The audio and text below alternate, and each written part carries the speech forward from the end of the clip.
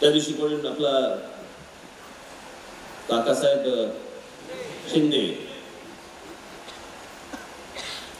त्या मुलाने आज तिथे नदीमध्ये उडी मारली.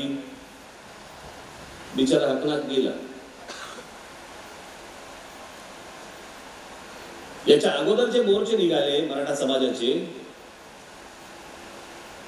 त्याचं मी माझ्या अनेक दोन चार भाषणांमध्ये मी भरभरून कौतुक केलं होतं की असे शांततापूर्ण इतके भव्य मोर्चे भारताच्या इतिहासात आजपर्यंत कधी घडले नव्हते.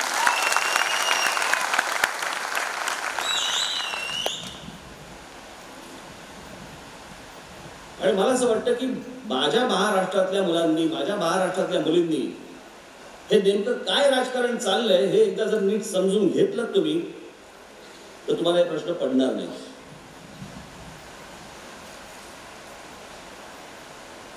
मी अनेकदा बोललोय की आरक्षण जर समजा तुम्हाला द्यायचं असेल तर ते आर्थिक निकषावरतीच आरक्षण दिलं गेलं पाहिजे. जातीच्या आधारावरती आरक्षण देता कामा नये. एका जातीला आरक्षण दिल्यानंतर मग दुसरी जात उभी राहते तिसरी जात उभी राहते. आणि मग त्याच्यामधनं जो संघर्ष एकमेकांबद्दलचा विद्वेष जो पसरतो तो थांबूच शकत नाही मग.